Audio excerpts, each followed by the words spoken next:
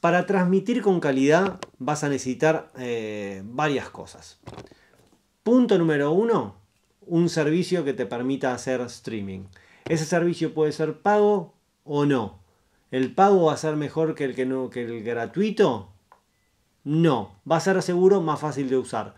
Yo como ya les dije, uso iCam Live, que es solamente para Mac, que es súper fácil de usar y que anda 10 puntos. Tenés OBS, que es gratuito, plataforma abierta. Y se va a ver igual, eh, anda bien, es espectacular, pero es lo tenés que programar de cero.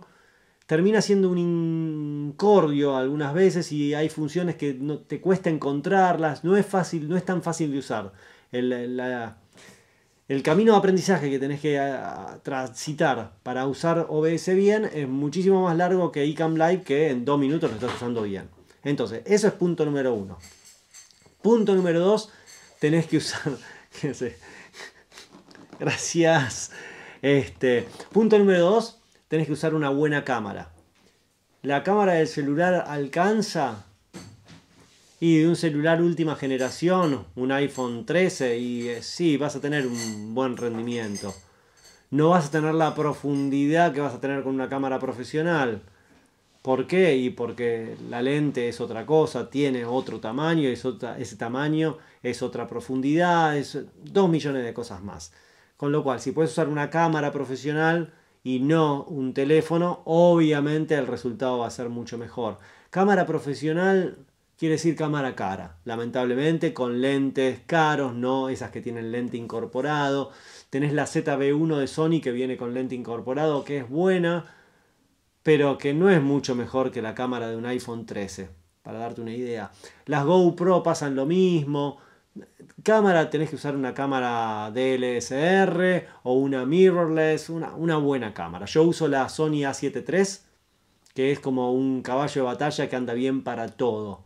¿sí? Es como un estándar que anda bien para todo. ¿Podría usar algo mejor? Sí, tendría que gastar mucha más plata.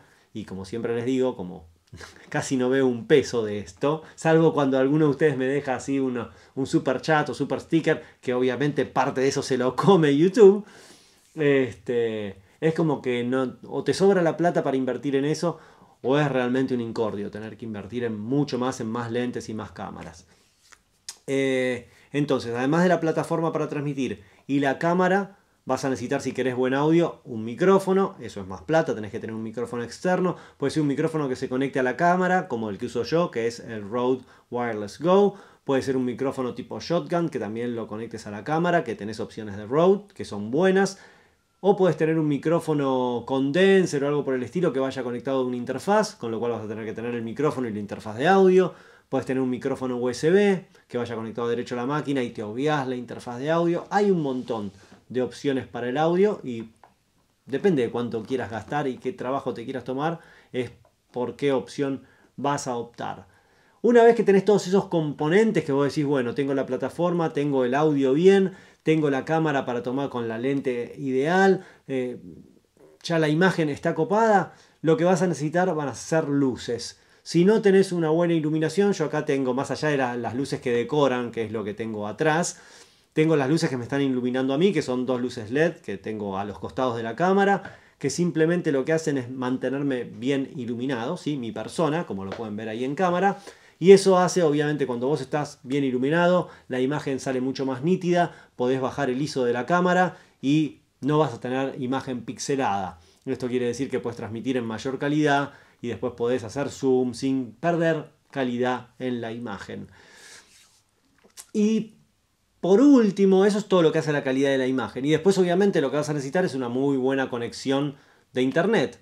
Porque vas a estar subiendo información, subiendo datos todo el tiempo. Y para transmitir en vivo, si querés transmitir con audio profesional, con una cámara profesional, etc., necesitas poder subir y encima en alta definición, HD, 4K, en lo que quieras transmitir, tenés que tener una conectividad a internet que te permita subir